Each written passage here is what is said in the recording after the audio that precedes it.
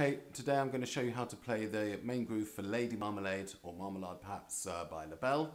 Um, the groove is a four bar pattern all in all, but the only difference really between the uh, first two bars and the first second bars of each pattern are that the, uh, the bass on the end of the second bar is on the four and at the end of the fourth bar it's on the four and.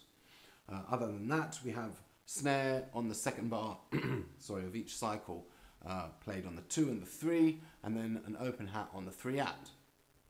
Also, uh, the quarter notes, the one, two, three, and four, are well accented on the hi-hat as well when we're playing the eighths. Um, so um, I'll just play it for you nice and slow. It's pretty straightforward. Um,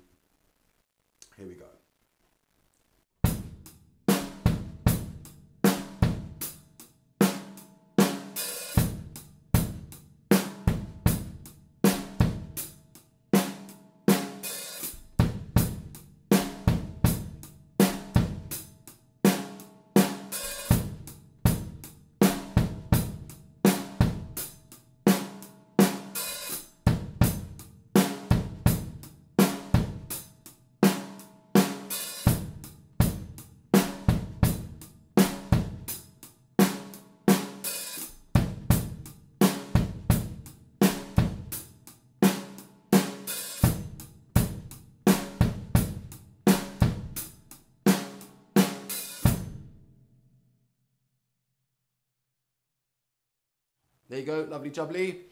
Um, now I'll do it a little bit uh, faster, sort of similar to the tempo of the song, and you'll notice if you listen to it, uh, which you should of course, uh, that the drummer's playing crashes at the end of uh, each four bar cycle quite commonly. Uh, there's quite a lot of that going on.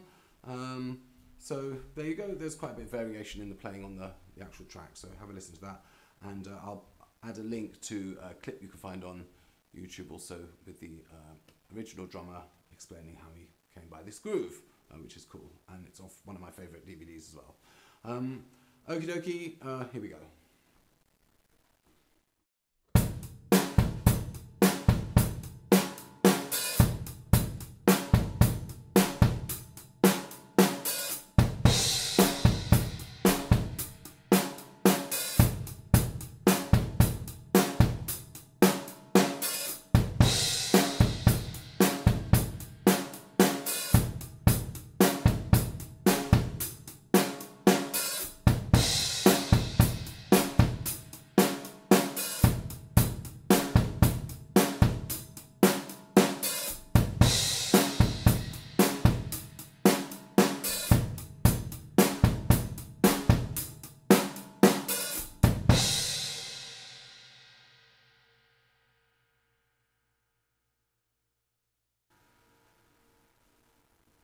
There you have it.